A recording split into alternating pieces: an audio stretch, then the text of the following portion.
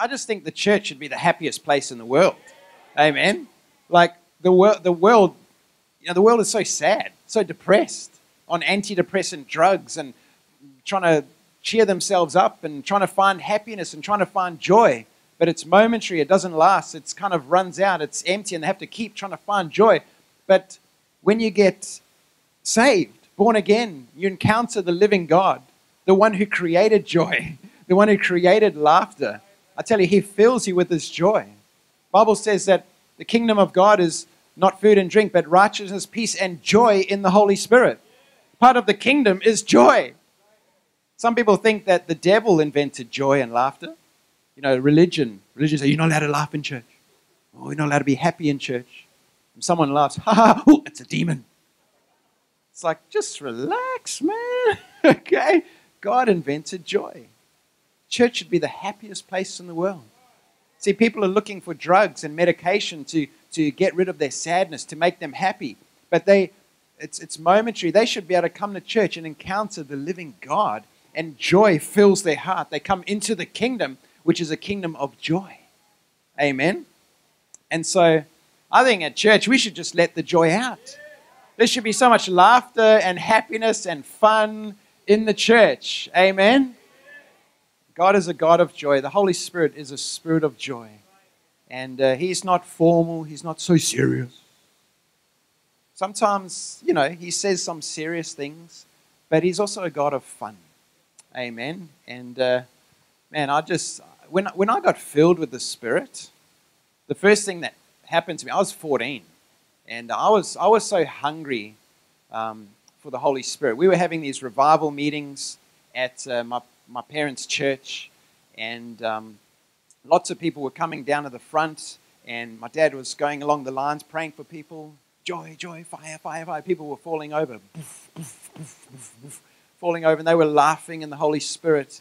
And uh, I thought, wow, I was just a young kid, and I just thought, oh, that looks good. That looks like fun. I want some of that. I want to, I want to laugh in the Holy Spirit. I want to get full of the joy of God because that really looks like fun. And uh, it, it didn't look like demons. It's not demons. So there's a lot of the church, a lot of religious people, they think, oh no, that's demons. People fall over and they, they laugh, oh, that's demons. It's like they believe more in demons than in God. They believe more in the power of demons than in the power of the Holy Spirit. My God is a God of joy, and he, he can make you fall. I mean, when you get in His presence, you're probably going to fall over. When His presence comes, the, the priests in the, in, the, in the temple, when the glory of God came, they just fell to the floor, they fell to their faces. So much power, so much glory in the room when God's presence comes. Sometimes it's so powerful, it's so overwhelming that you fall over. Sometimes He fills you with laughter and joy because sometimes that's what you need. Because a lot of churches, we're so serious. And God's like, just wants us to laugh a little bit. Just wants us to relax and take it easy. And He wants to get us on the ground and then just come and tickle us under our arms and say, You need to laugh. You need to have a laugh. So serious. Have a laugh. Enjoy.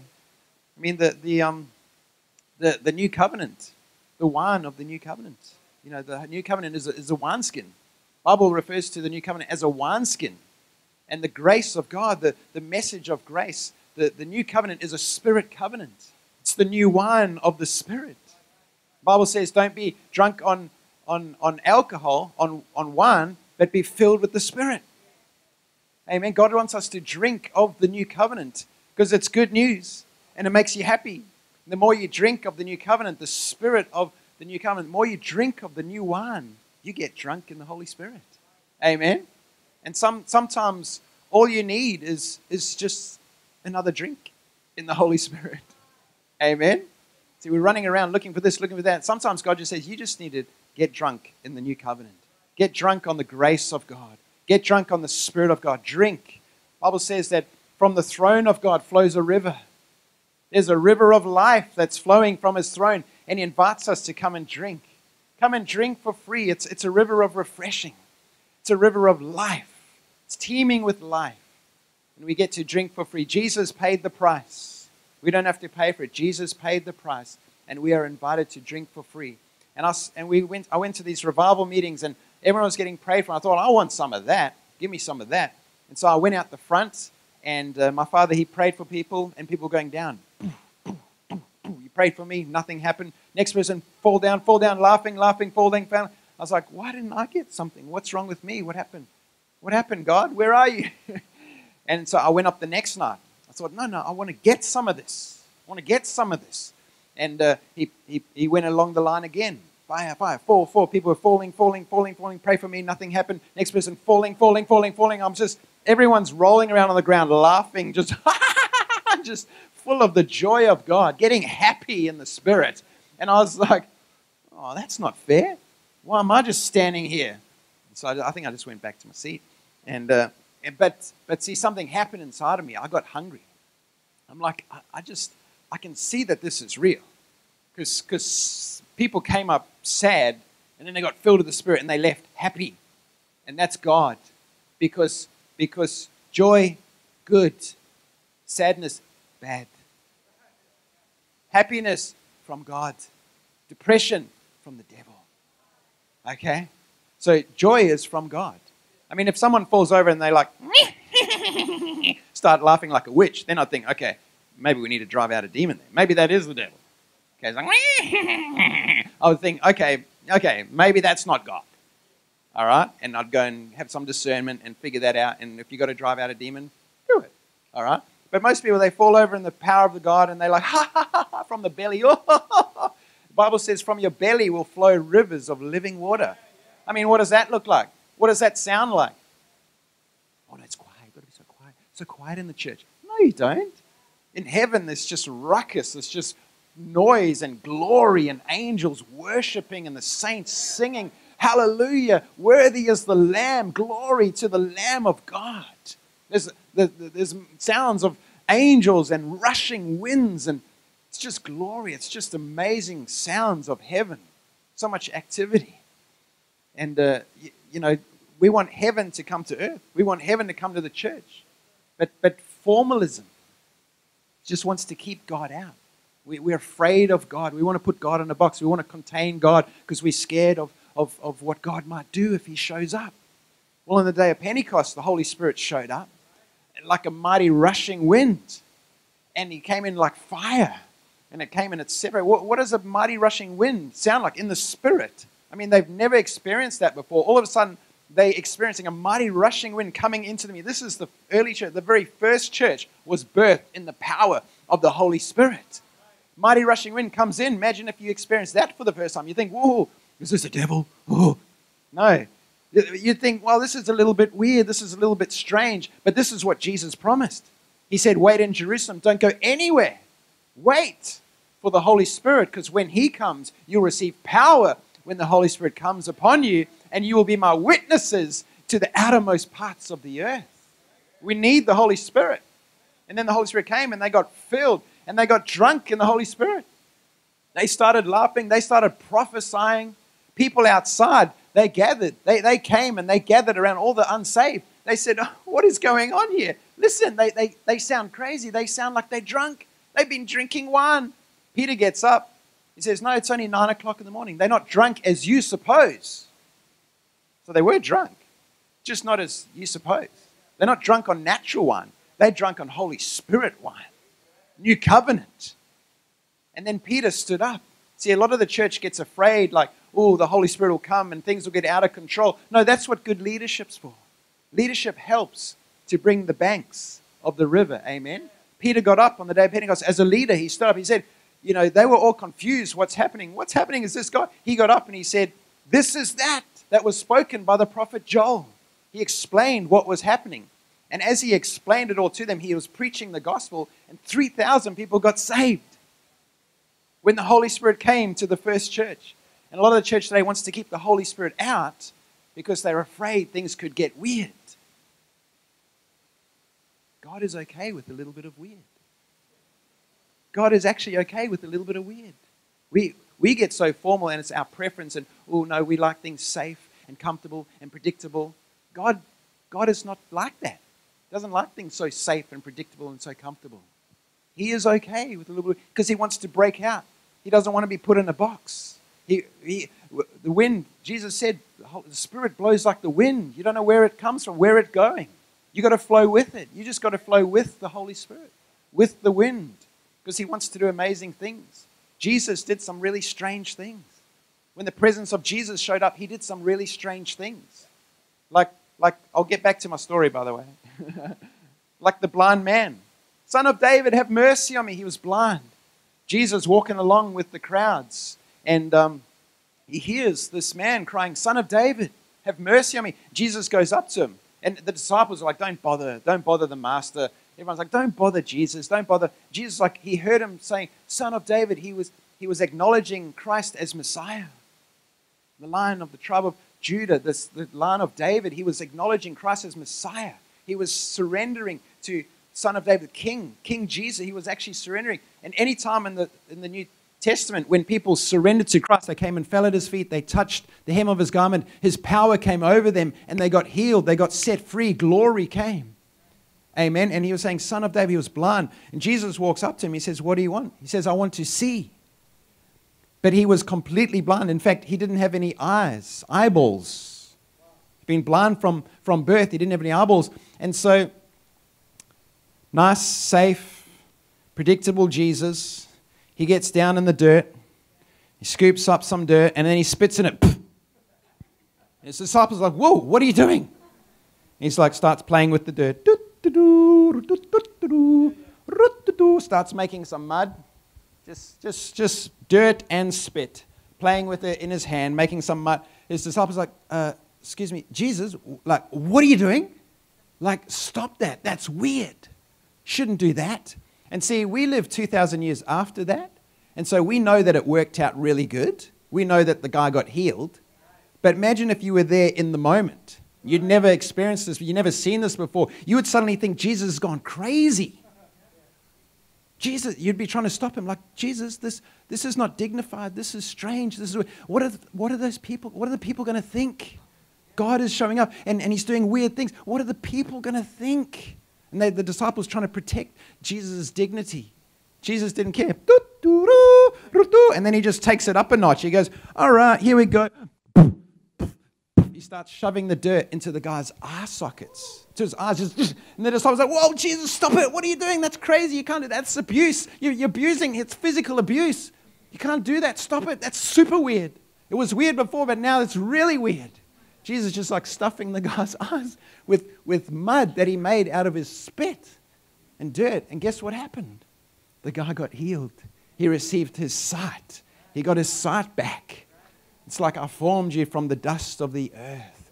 And then the spirit, I breathe the spirit into you. He was like forming those eye sockets and, and r- breathing the spirit of life over his eyes. But that was weird. And Jesus, he was just okay with that. What about like um, the woman, the, the prostitute, prostitute, Jesus was reclining at the Pharisees' house, Simon's house, having dinner with the Pharisees, the religious Pharisees, and they all, you know, sort of lying down on cushions and they got their feet stretched out and they're kind of on their elbow and they're eating their food, they're lying out. In comes this prostitute. Just the, all these religious people and Jesus are having dinner. In comes this prostitute and she, she kneels down at Jesus' feet. You can imagine everyone's like, uh, what is she doing? Like, what's happening now? And they all know that she's a prostitute, the Pharisees, probably because they went to go and visit her. Because religious people love sin. They love sinning. They just hide and pretend like they don't. And in fact, this woman, they try to stone her. They brought her caught in adultery. It's like, where was the guy? He also was committing adultery. How come they didn't bring him out? It's because they set her up. They were trying to set Jesus up.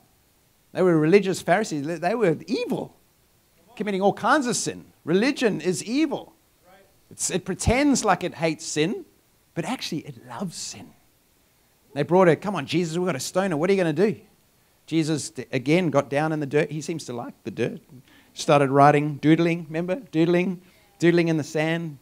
And uh, and then he stood up and he said, Whoever's without sin, you be the first one to cast a stone. And they all went away because they all had sin in their life. They try to act so holy, holier than thou. And we have got to be so tough on sin. You know, watch out for people that we've got to be so tough on sin. I'm like, I want to scratch around in your life and see what you're up to. Hey, like we should. We, we, we're not, they, they actually want to be tough on the sinner. They were trying to be tough. They wanted to stone the sinner. Okay? Jesus is tough on sin. He's so tough that he died for our sins, a bloody death, died for our sins, but, but he's gracious towards the sinner. Amen. And he restored her. He gave her a dignity back. And he said, in fact, can we have the, somebody to come and just minister on the keyboards? If that's okay, if, if someone could come and just, just help. And he gave her her dignity back. He said, Woman, where are your accusers? And and she said, I don't know, they're gone. He said, Well, neither do I accuse you. Go your way and sin no more.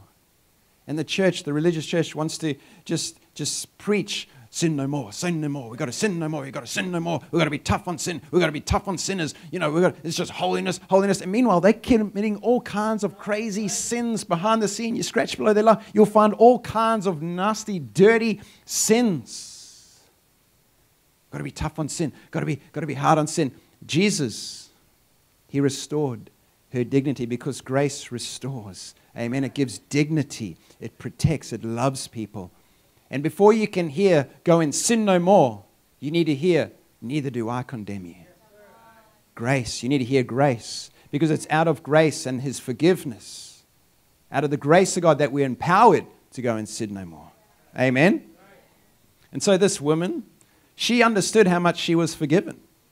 She was so filled with the love of Jesus. She was encountering this amazing person of Jesus. There was nothing sexual from her towards Jesus, it was just pure love, just for this, for this man that came and forgave her, that restored her, set her free, in fact. And she came and she knelt at his feet and she was weeping, just tears, just tears of love, tears of joy, tears of thankfulness, just crying over his feet and just so many tears that his, she was wetting his feet with her tears.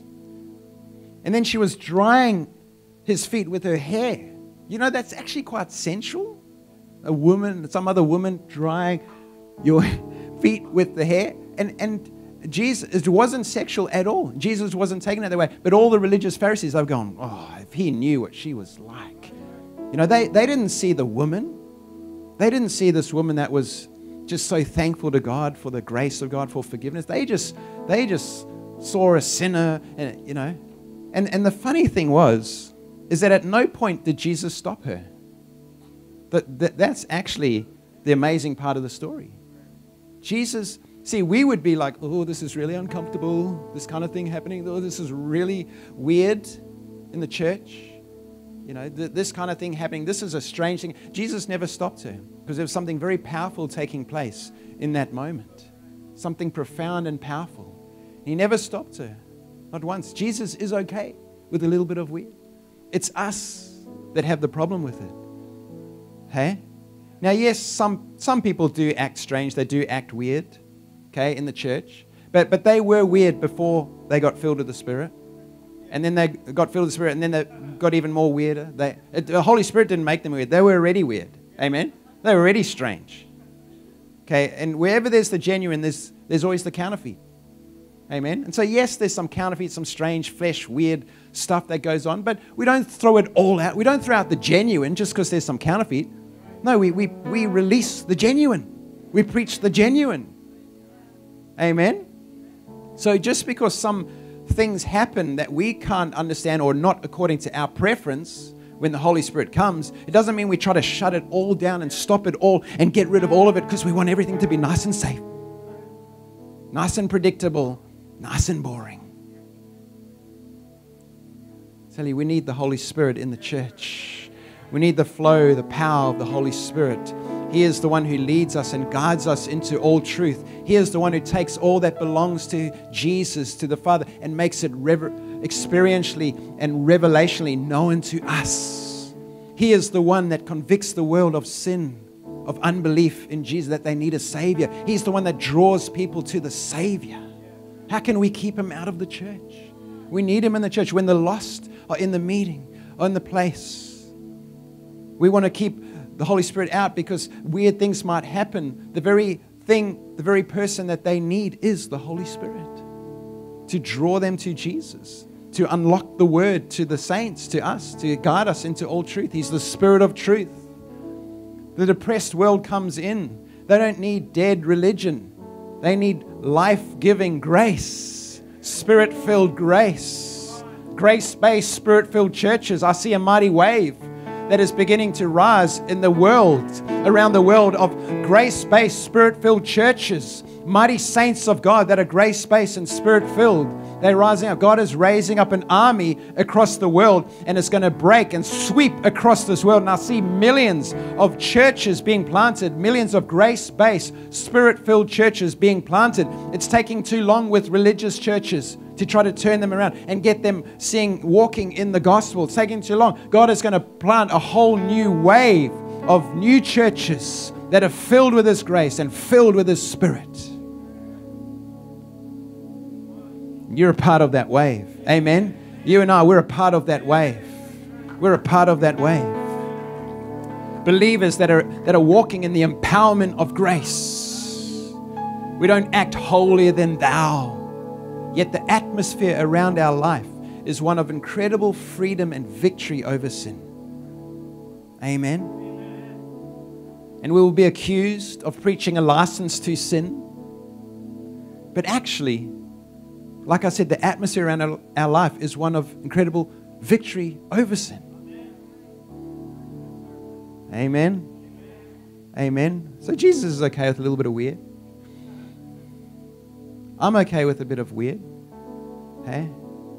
And, and when you've got good leadership, then you can, you know, if you're having a meeting and someone starts manifesting a demon, because the presence of God is so powerful, so strong in the place, See, I'd, I'd rather have demons manifesting because God's presence is here than never having any demons manifesting. No one ever gets healed, no one ever gets saved, no one ever gets transformed because we've kept God out of church. No, I want God in church, and it might be a little bit messy. There might be fires that break out. You're like, oh my goodness, what's happening? This is awesome. This is crazy and awesome at the same time. But see, if someone starts manifesting a demon and then people get freaked out, the hair in your the back of your head starts on the back of your neck stands up. Oh, this is weird. No, just leadership gets up. Hey guys, this is this is biblical. This is Book of Acts. Demons manifesting. See, when Philip he went to Sam- Samaria, he was preaching the gospel, moving in the power. It says, with loud shrieks, many demons came out. What does that sound like? I won't do it because it might freak you out. But I've, I've, I've heard people shrieking because it's demonic. I've heard the demonic shrieks. You know what? I don't get freaked out. I don't get scared with that. That's a wonderful sound. That's the sound of demons coming out. That's the sound of people getting set free. I once heard this lady, my dad was ministering. He said, There's someone here, there's a spirit of suicide, a spirit of death on you. And, and, and as he said, but God wants to break it. And as he said that, this woman was like, just like this loud, chilling scream. And everyone was like, oh my goodness. And she just screamed for about 10 or 15 seconds. It was like, you know, that was pretty crazy. But afterwards, she started sobbing. The peace of God came over her. My dad said, You've been set free from a spirit of death, from a spirit of murder. You've been set free. She came into wonderful freedom, hey? And so I went out to the line. I started to get so hungry, so hungry for the Holy Spirit because I went up night after night and I got, I was getting nothing. And sometimes I think God just, He just holds back. Sometimes, sometimes He holds back because He wants you to get hungry. He just, He wants a hunger to build inside of you. And I just got hungry. And I got so hungry. And one night I thought, I have got to get some. And my dad, he called people out. I was the first one. I ran out. I was the first one. I was standing there in line. And my dad, he was really excited. He didn't wait for the catches. He just started praying for the line. He prayed for me first. Fire and boom, fire. I just felt power come out of his hands. The Bible says you'll lay hands and they will, people will receive the Spirit. You lay hands on the sick and they will recover because there's a release of power. When Spirit filled people pray, lay their hands on the sick, there's a release of Holy Spirit power that flows through them into those people, and there is power. And power flowed through my dad and it hit me. I got filled with the Spirit. He threw me backwards. I went flying backwards, no catcher. There was a big brick wall behind me. And I went flying into the wall and I hit my head on the wall and I landed on the ground screaming with laughter. And I was thinking, wow, my head should be really hurting right now. I should be bleeding because I know I hit the wall really hard, like just jolted me and I landed. I was like, no pain. I even felt it's like no blood. And I was just, I was actually just drunk in the Holy Spirit for two hours. I didn't care what people thought. There was hundreds of people there. I didn't care. A 14-year-old kid that's normally quite self-conscious, I didn't care. It's amazing when you get drunk. When you get drunk on natural wine, you don't care, right? You're like, hey, just like karaoke, dancing. You don't, you don't care because it just gets rid of your inhibitions. So does the Holy Spirit wine. Makes you bold, makes you not care about what people think. Amen. It's wonderful. I was just laughing for two hours. just this deep, deep, deep belly laughter. From your belly will flow rivers of living water. From my belly was just flowing. The Holy Spirit was just flowing. He's just filling me with wave after wave of the joy of God. I was like, this is awesome. So good. And I, I got up a changed person, completely changed. God had touched my life. I was actually filled with the Spirit then. And the next day, I, I, I, was like praying. I was like, God, thank you. Thank you, like for that. That was real. And I was like, what the? I can feel my belly moving. It's like, I can feel that his presence. I, I felt his presence in me. From your belly will flow rivers of living. You will be filled with the Holy Spirit. This body is a temple of the Holy Spirit. Okay? And like, how can this this flesh contain God? It's like somehow it does, but uh, when you allow His presence to flow, it's just, it's just, it's it flows. And, and the next day, I, I was praying and I could feel God.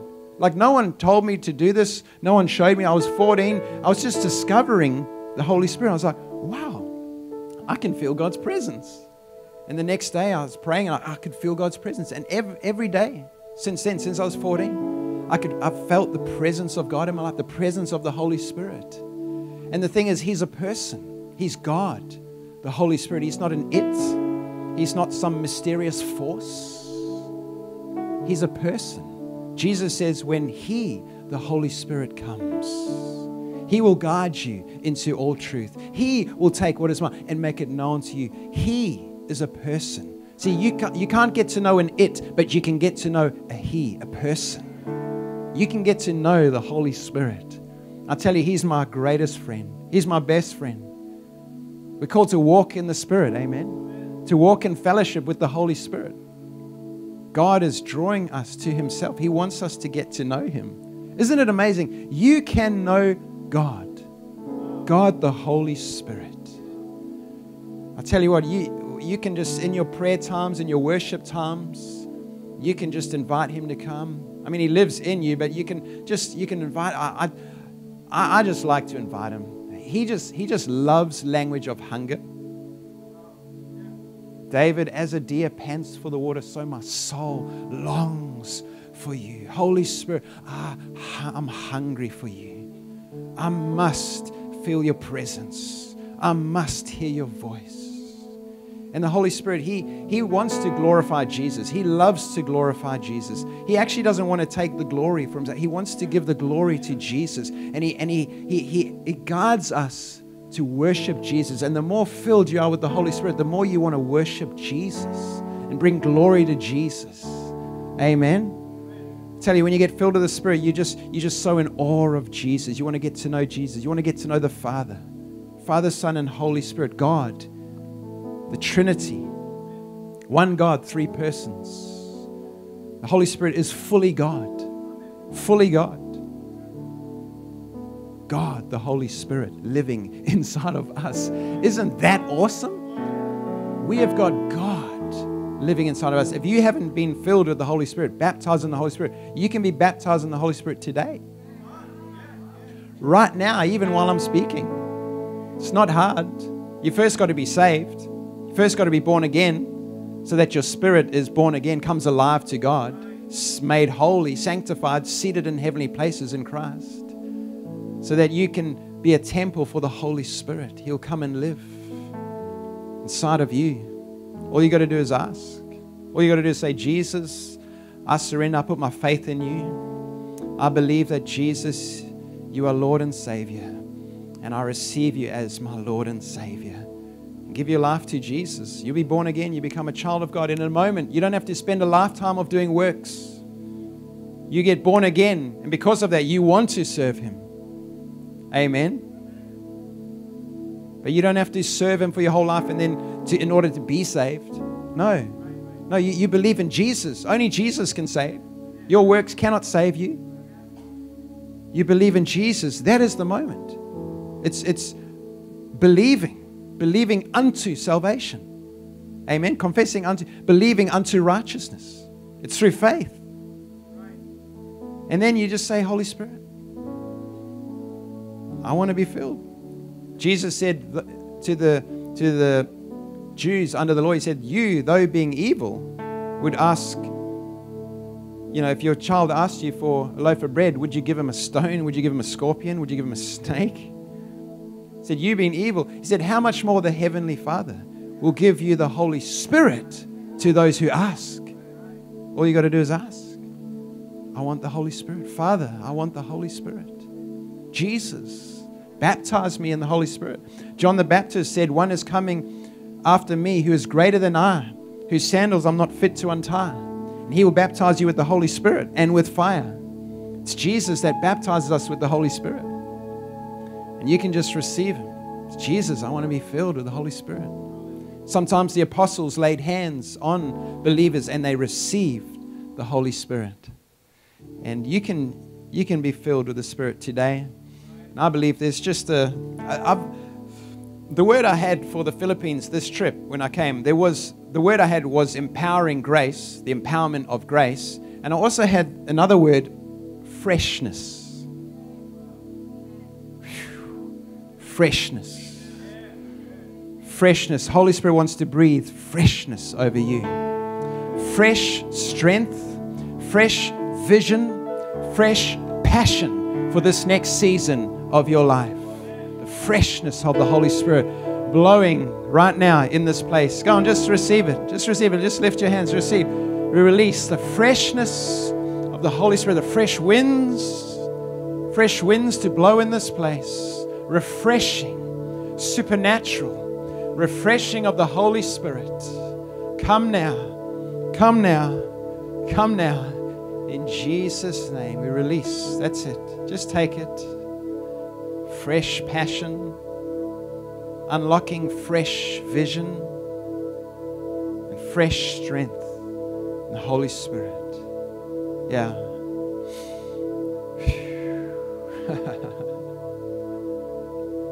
yeah, thank you, thank you, thank you. There it is. It's just like a spirit of purity as well. It's just, it's just clear, crystal clear waters of the Spirit flowing. It's just flowing, just, just bringing a cleansing. It's just cleansing, taking out toxins, just removing toxins, removing stress from your life, removing fear, anxiety, temptation. Just, just the river just flowing through your life right now. Let them flow.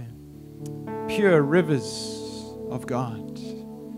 We welcome you, Holy Spirit. He loves the language of hunger, of desperation.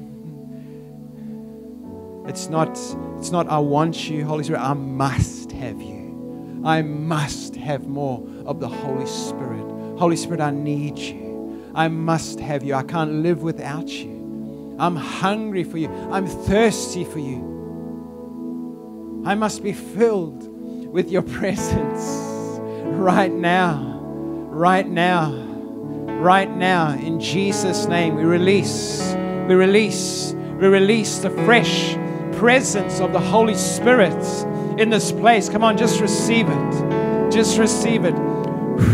Winds blowing, oil flowing, joy growing. that just rhymed.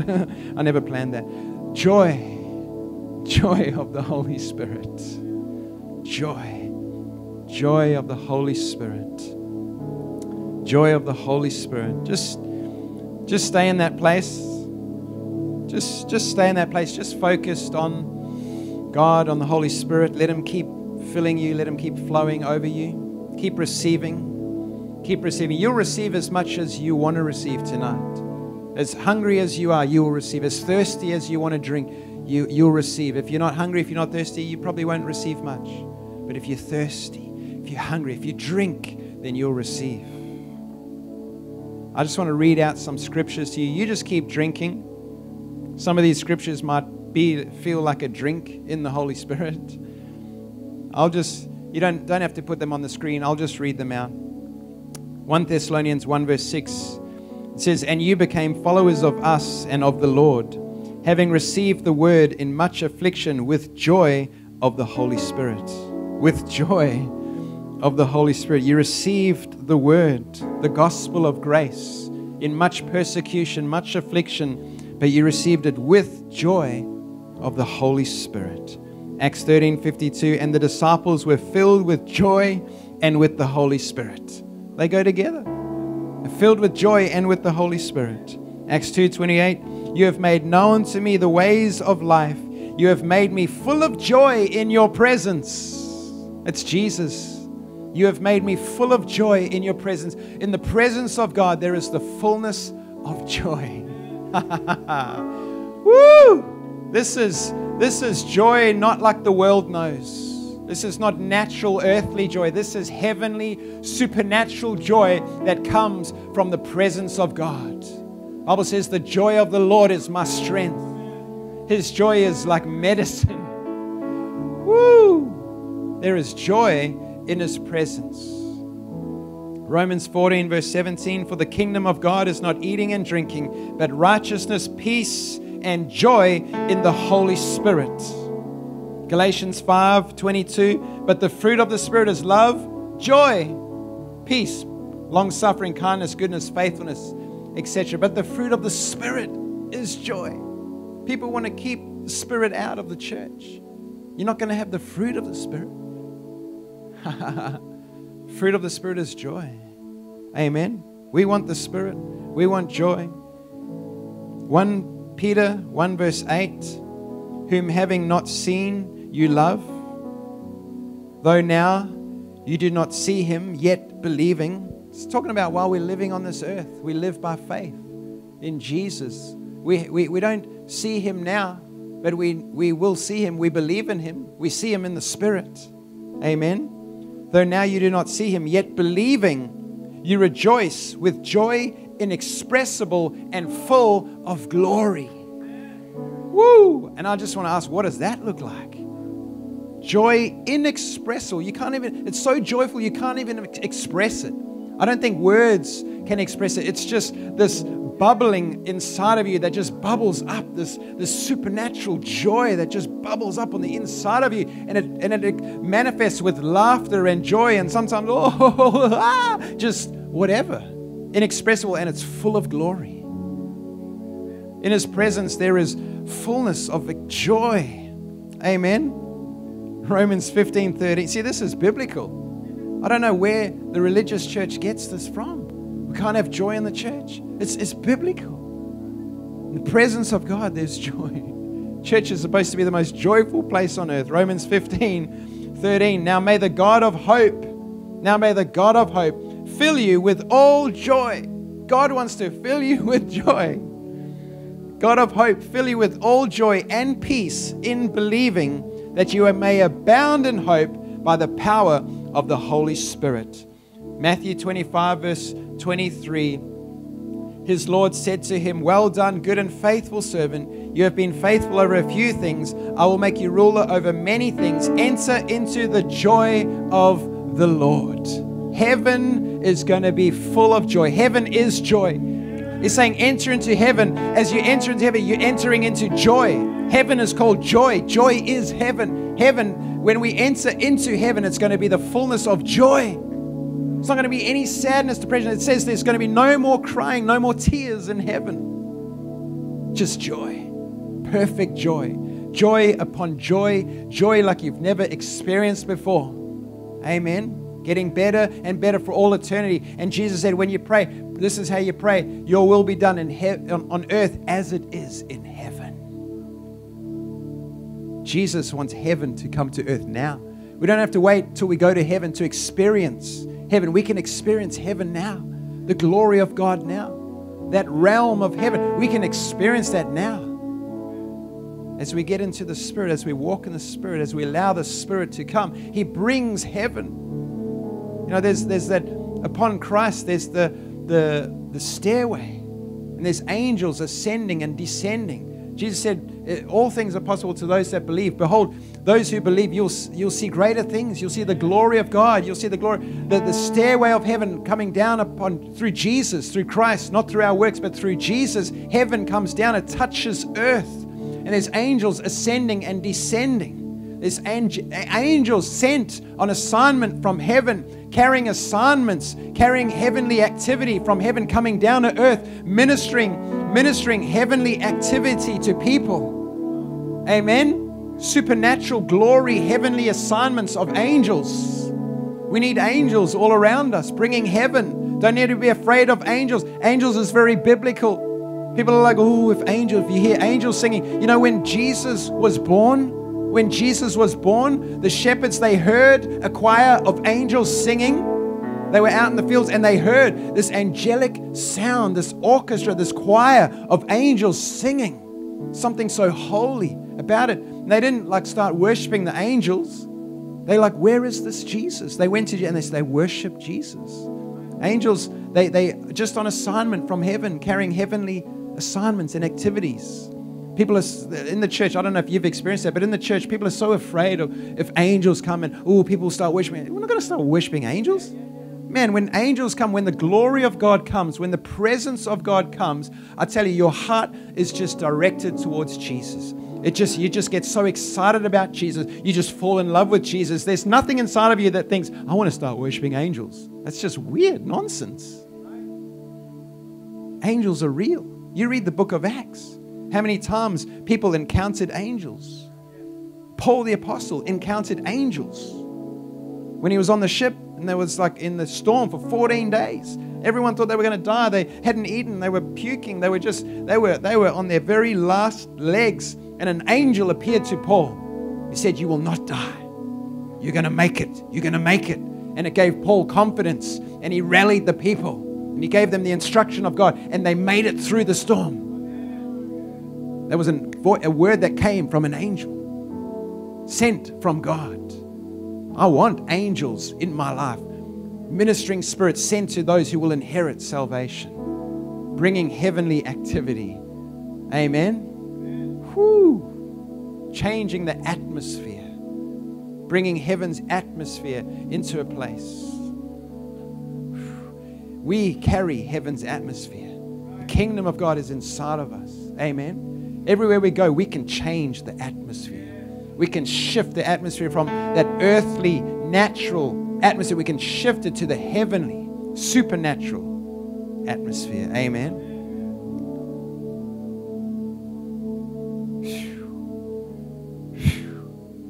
Corinthians 14. Corinthians, they were going wild. Amen. They were just abusing the gifts, just going crazy with the gifts. It was like, you know, everyone was just prophesying all at the same time. People were just praying in tongues. Holy Spirit, you know, just, just praying in tongues, and they would stand up, pray in tongues, and then sit down, and everyone was confused, didn't know what was going on. It was just, it was just weird. It was just crazy, just chaos. Paul comes in. See, a lot of leaders, they'll come into that. Today, it's like, oh, you know what? Let's just get rid of all of it. Let's just get rid of all of that. We just won't have the gifts. We just won't do the gifts in church. Holy Spirit gifts. We just won't do that because that's just, it gets weird. Paul didn't do that. Even though the Corinthians were going crazy and wild and being stupid with the gifts, he came in as an apostolic father and he brought correction. Because the answer to abuse is not non use, it's proper use. And he came in and he brought instruction and he taught them how to use the gifts properly to be effective. And he said, when people are flowing properly in the gifts and they prophesy, the voice of God speaking. He said, The lost will come into the meeting and they will be convicted in their heart. They will fall on their faces and proclaim, Surely God is in this place.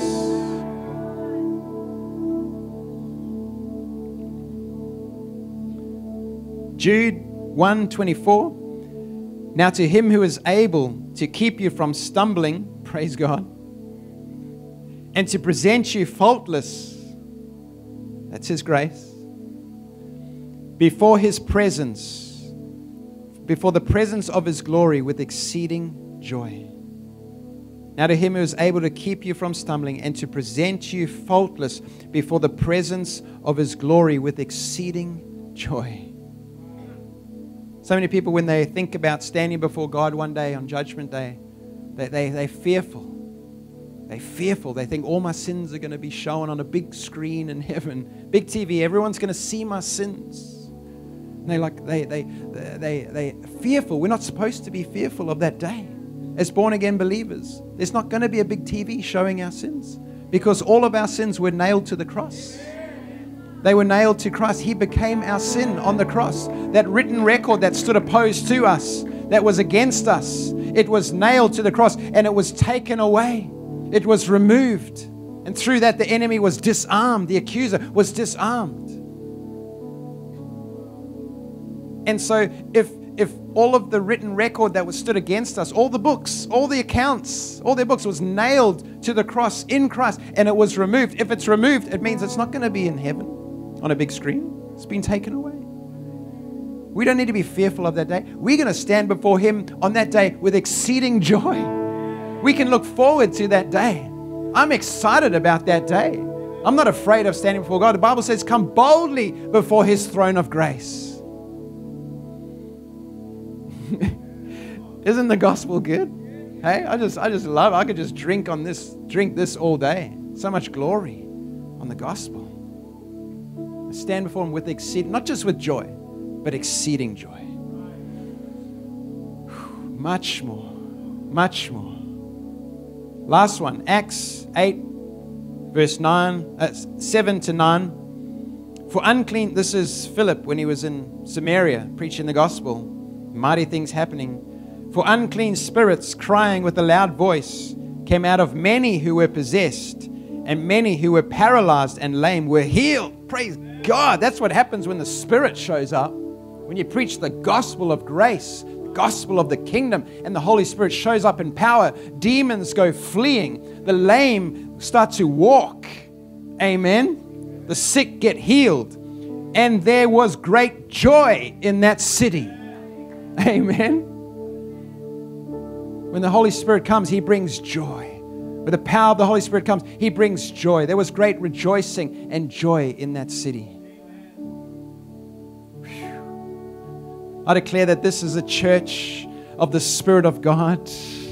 This is a church of the gospel of grace of the gospel of the kingdom of God. This is a spirit filled, grace based church. And I declare that they will preach the gospel at a whole nother level, at a higher level, with signs and wonders following, with the lame being healed, the cripples walking, with demons being driven out, with sick bodies being healed supernaturally by the power of the Spirit, not just through Elvin and Pastor Elvin and Mitch, but every single person in this place being equipped and empowered by the Spirit of God. You receive power when the Holy Spirit comes on you to be my witnesses, and it will be effortless. It won't be striving and struggling and struggling and striving. It will be effortless in the Spirit as you grow in the Spirit, as you release the Spirit, as you step out in the Spirit. There's an increase. I declare an increase in this place. In Jesus' name. Do you receive that? Amen. Receive it. Say, Lord, we receive it. I receive that now. I take it in Jesus' name. Won't you just stand to your feet? Just, just stand to your feet, lift your hands, and just begin to worship Jesus. Just begin to worship Him. We can have the band come up. Holy Spirit, come. Come, come, come. Oh, let angels from heaven come down. Come and minister in this place. Mighty angels. Mighty warring angels. declaring war against the enemy, defeating the enemy over your life, different attacks, assignments of the enemy, other angels, clean angels, heavenly angels are coming to smash off those bad assignments off your life right now by the supernatural assignment of God. In Jesus' name. Holy Spirit, come and blow in this place. We, we release heavenly activity, supernatural signs and wonders, gifts of the Holy Spirit flowing, not just from up front, but amongst each person, even to you right now. Let there be a manifestation of the Holy Spirit. Let Him stir up gifts. Let Him speak to you. Let Him speak to your heart. Let Him speak to you right now. Let Him, let him fill you with gifts of faith in Jesus' name.